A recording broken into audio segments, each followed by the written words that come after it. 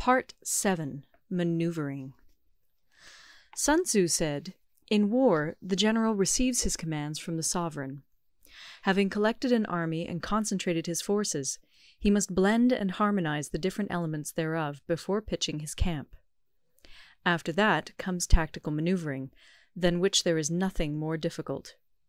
The difficulty of tactical maneuvering consists in turning the devious into the direct, and misfortune into gain. Thus, to take a long and circuitous route, after enticing the enemy out of the way, and those starting after him, to contrive to reach the goal before him, shows knowledge of the artifice of deviation. Manoeuvring with an army is advantageous; with an undisciplined multitude, most dangerous. If you set a fully equipped army in march in order to snatch an advantage, the chances are that you will be too late.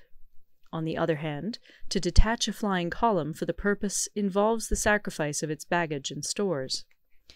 Thus, if you order your men to roll up their buff coats, and make forced marches without halting day or night, covering double the usual distance at a stretch, doing a hundred li in order to wrest an advantage, the leaders of all your three divisions will fall into the hands of the enemy.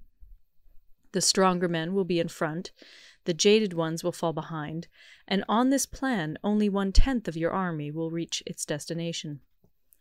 If you march fifty li in order to outmanoeuvre the enemy, you will lose the leader of your first division, and only half your force will reach the goal. If you march thirty li with the same object, two thirds of your army will arrive. We may take it then that an army without its baggage train is lost; without provisions, it is lost; without bases of supply, it is lost. We cannot enter into alliances until we are acquainted with the designs of our neighbours. We are not fit to lead an army on the march unless we are familiar with the face of the country, its mountains and forests, its pitfalls and precipices, its marshes and swamps. We shall be unable to turn natural advantage to account unless we make use of local guides. In war practise dissimulation and you will succeed. Whether to concentrate or to divide your troops must be decided by circumstances. Let your rapidity be that of the wind, your compactness that of the forest. In raiding and plundering be like fire, in immovability like a mountain. Let your plans be dark, and impenetrable as night, and when you move, fall like a thunderbolt. When you plunder a countryside, let the spoil be divided amongst your men. When you capture new territory, cut it up into allotments for the benefit of the soldiery. Ponder and deliberate before you make a move. He will conquer who has learnt the artifice of deviation. Such is the art of manoeuvring.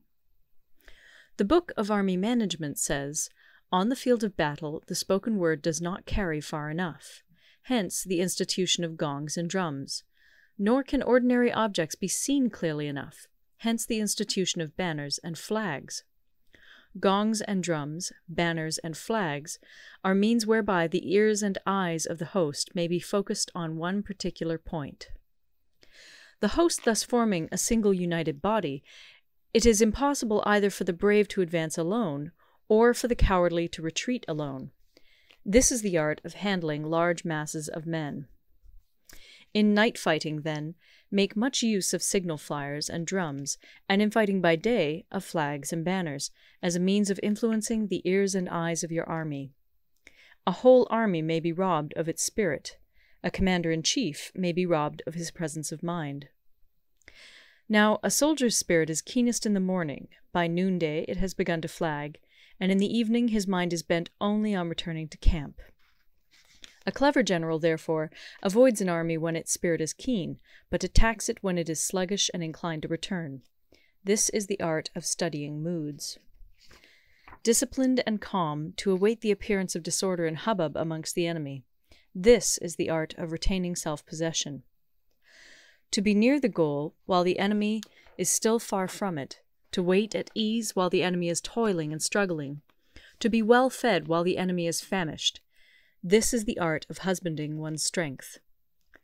To refrain from intercepting an enemy whose banners are in perfect order; to refrain from attacking an army drawn up in calm and confident array this is the art of studying circumstances.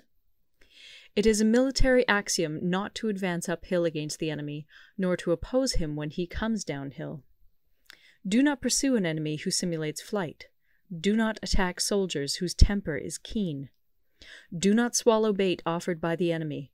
Do not interfere with an army that is returning home. When you surround an army, leave an outlet free. Do not press a desperate foe too hard. Such is the art of warfare. Part 8 Variation in Tactics Sun Tzu said, In war, the general receives his commands from the sovereign.